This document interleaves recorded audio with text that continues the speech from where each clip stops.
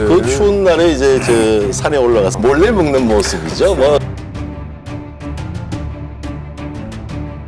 어, 귀한 소가 이제 눈에 보이니까 도둑질한 거죠. 음.